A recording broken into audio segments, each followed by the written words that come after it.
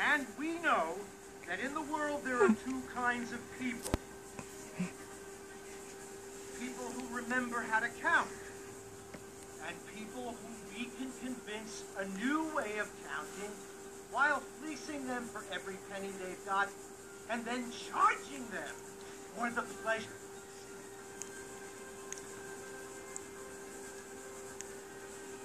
Capitalism depends on one thing and one thing only, a steady supply of idiots. Idiots, just like you. You're paying for an education.